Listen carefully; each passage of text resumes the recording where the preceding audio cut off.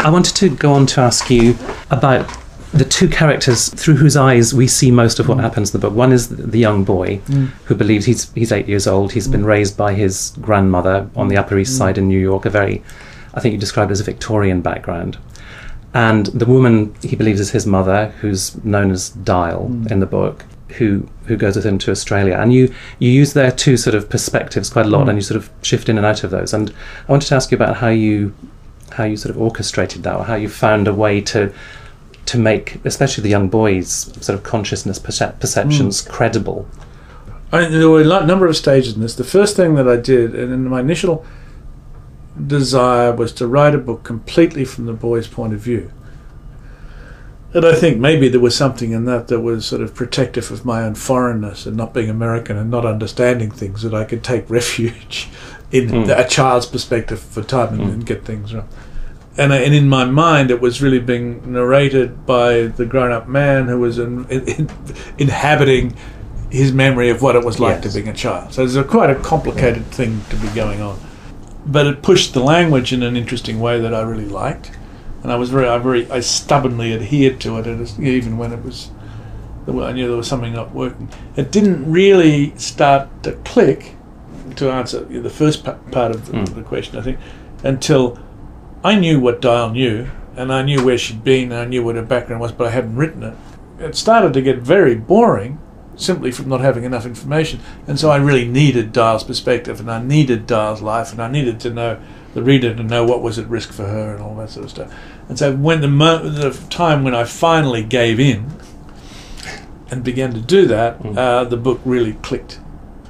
The thing of, of actually inhabiting the boy's perspective was not really particularly difficult for me to do. After all, we are meant to do this. You know, what I mean, we are meant to imagine what it is to be other. And if I'm a man, I'm meant to be able to write from the posi- you know as a woman. And if I'm white, I'm from being black. Many people think you shouldn't do these things, but I think this is what we this Mm. is what we are. But do you Uh, think doing it from the perspective of a child presents particular difficulties because you've got to rein in so many things, or No. and, and yet be convincing?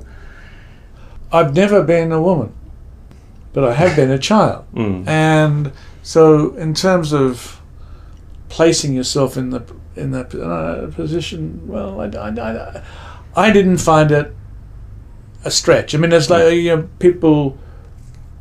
When I wrote True History of the Kelly Gang, people said really wasn't it terribly restrictive to be limited by Ned Kelly's vocabulary and Ned Kelly's intellectual or bookish lack of lack of lack of literary education. So, well, no, because it's the very it's a very uh, restriction I think that really pushes the language into interesting ways Mm. and makes and after all when we talk about all of these things you know about story and character and the, the real point of the book is that you know to have the reader swimming in a river of words and that, that's how the words work and how the Mm. words sing that really is the thing and that's why a plot synopsis is the most stupid thing on earth because it just eliminates everything you know like the pleasure of reading finding out what's going to happen next and swimming in that river of words so the thing that was very attractive about writing from the boy's point of view is being able to push the language into somewhere new. So it's very,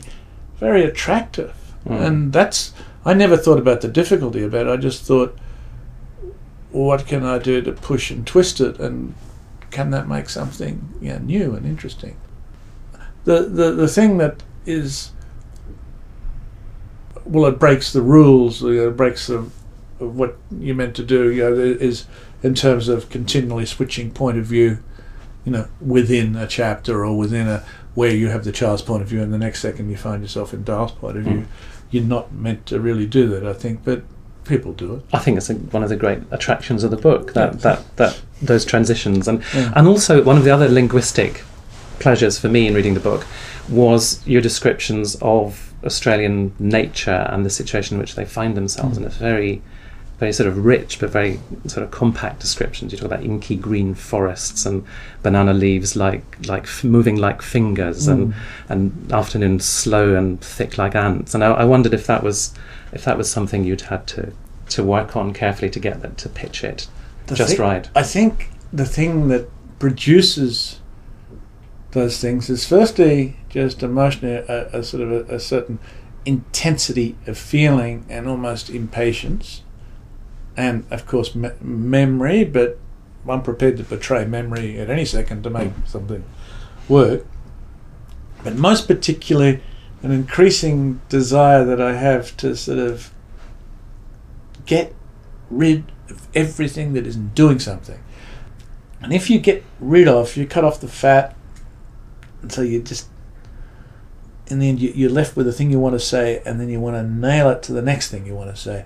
And if you can do that, you'll you may make something new, and you Mm. may make something quite beautiful, and still be coherent, of course, and still Yes. not leave the re- re- so the, the sort of distillation or the cutting away is something I've sort of become rather obsessed with, and it's a great source of pleasure too.